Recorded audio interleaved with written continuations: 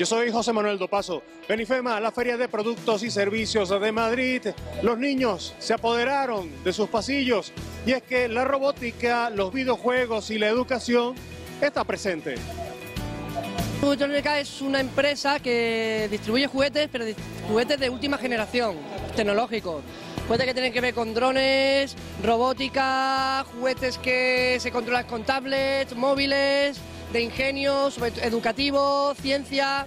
Entonces no solo distribuye juguetes, sino también que hace eventos como el que tenemos hoy aquí en Juvenalia. Eh, y lo curioso es que somos una tienda, una empresa que dejamos que se prueben todos los productos.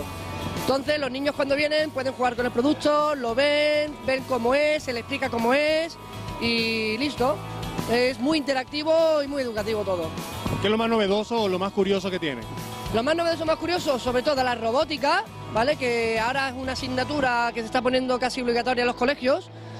Y los drones, ¿vale? Somos pioneros en la robótica actual y también en los drones y drones profesionales. Damos cursos de robótica para niños a partir de 5 añitos, hay robots incluso para partir de 4 añitos, hasta damos cursos incluso hasta profesorados para que vayan aumentando sus conocimientos en el tema. El R2D2 que tenemos allí enfrente ese R2D2 lo ha creado Juguetrónica en dos años. Un R2D2 que lo puedes controlar por control remoto y tiene una aplicación por la tablet para poderle personalizarlo. Para que te dé mensajes, reproduzca música, converse con la gente. Existen muchos tipos de robots diferentes. Hemos hecho robots que pueden seguir líneas, robots que tú los programas y pueden aprender, que tienen inteligencia artificial incluso robótica con pequeñas construcciones para aplicarla a la domótica en casa también. Nuestro, nuestro punto fuerte siempre es la innovación. Siempre innovar, investigar, intentar atraer todo lo que hay para el sector profesional al sector comercial y educativo. De aquí a cinco años a lo mejor estamos ya por robots sustituidos, nunca se sabe. Esperemos que no, siempre hace falta esos robots para que estemos nosotros detrás. Bien, recorriendo IFEMA podemos encontrarnos desde robot hasta antiguos soldados romanos. Con nosotros está Marco Albanza. Eh, Marco, ¿qué tal? Cuéntanos, ¿de, qué va lo que ustedes están haciendo? Muy buenos días. Pues lo que nosotros somos la Asociación Antigua Clio, somos un grupo de reconstrucción histórica romana del siglo II después de Cristo. Y bueno, hemos traído una muestra de algunos legionarios romanos de aquella época, además de una mesa también de exposición, máquinas de guerra, para que todo el público, tanto adulto como juvenil, pueda conocer la, es la historia y sobre todo tocar la historia, que es lo más fundamental de, de aprender, del aprendizaje. Organizan excursiones, organizan eventos. Eso es, eh, hacemos arqueología experimental, que es probar las cosas y hacemos eh, marchas experimentales con 20 kilómetros, con todo el equipo puesto, hacemos eventos tanto en yacimientos eh, arqueológicos, en museos, en colegios, hacemos todo eso para enseñar y divulgar la historia, que es lo que nos gusta a nosotros. ¿Qué es lo que llevan puesto? ¿Cuál es la característica más particular que tiene el uniforme que llevan puesto? Que entiendo que, es real o está basado en las condiciones reales. Pues mira, cada uno de estos soldados que tenemos aquí lleva 40 kilos de peso ahora mismo eh, encima. Es el, peso más o menos real que, llevaban en aquella época. Y son, por ejemplo, el elemento más llamativo es este tipo de armadura, que es una armadura de láminas, eh, muy conocida por las películas y el cine eh, y la serie de televisión. Marcos, ¿cómo contactarlos? Pues muy fácil, tenemos varias, los romanos, aunque somos romanos, estamos actualizados en el siglo XXI. Tenemos página web que ahí nos pueden contactar, que es eh, tenemos Facebook también, que nos puede buscar por Antigua Clio eh, allí en, Facebook. Tenemos Twitter, tenemos eh, correo electrónico, tenemos Instagram.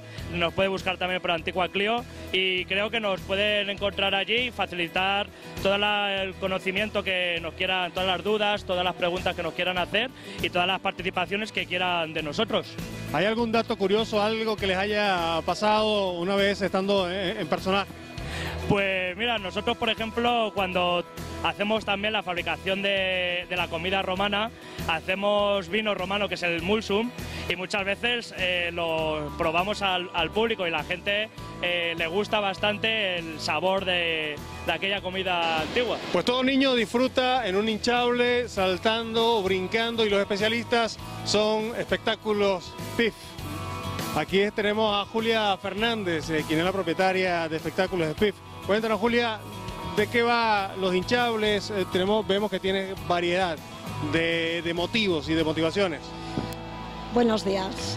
Eh, nuestros hinchables están todos homologados por normativa. Es muy importante saber que todos los hinchables tienen que estar homologados por normativa y tenemos diferentes edades. Abarcamos diferentes edades, desde los dos añitos, con hinchables más pequeños, con hinchables de salto, con hinchables de toboganes y diferentes motivos. Tenemos también una zona wipeout en otra parte del pabellón.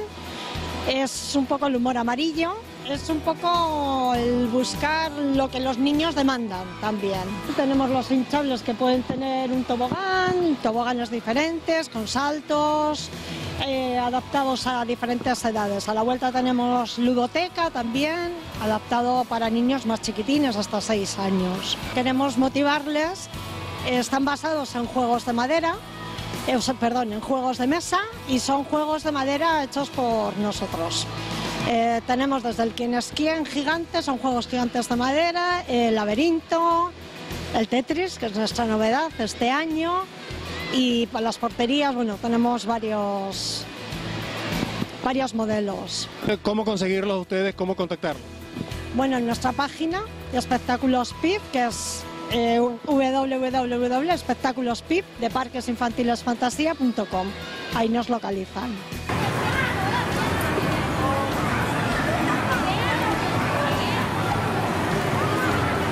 La imaginación pues no tiene límites y a la hora de crear siempre es bueno tener buenas herramientas y herramientas actuales que te permitan incrementar esa, esa creatividad y que ese límite pues cada vez sea mucho más lejano. De los hacedores tenemos aquí a Adam que nos va a contar cómo ustedes incrementan esa, esa creatividad, qué herramientas dan para que esa creatividad pues cada vez tenga forma y sea tangible. Bueno, nosotros lo que tenemos es una escuela de impresión 3D. Utilizamos las impresoras 3D como herramienta efectivamente para materializar las ideas de los niños, la creatividad de la gente en general, convertir ideas en objetos tangibles. O sea, si algo tiene de revolucionario la impresión 3D es precisamente eso, que nos permite convertir una idea en algo tangible en cuestión de horas. ¿Cómo lo hacen ustedes? ¿Que dan las herramientas, enseñan? ¿Lo hacen ustedes?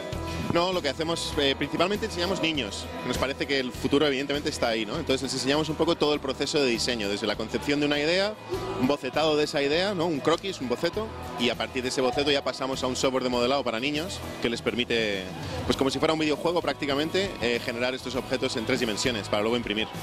¿Cómo lo asumen los niños? ¿Cómo lo, cómo lo toman? ¿Lo toman de buena manera? ¿Se les hace fácil?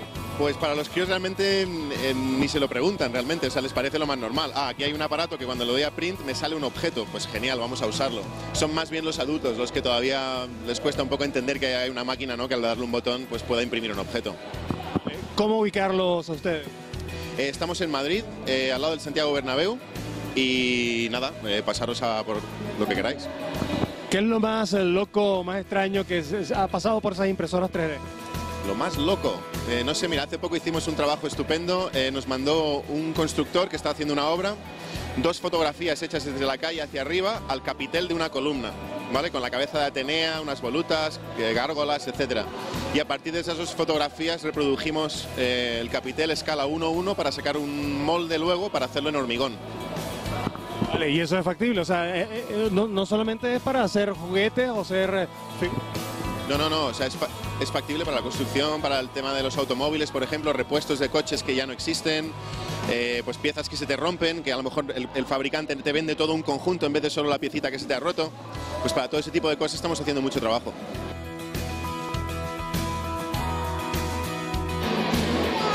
Empresas con calidad de exportación que usted conoce en IFEMA, la Feria de Productos y Servicios de Madrid. Yo soy José Manuel Dopazo, hasta una próxima oportunidad.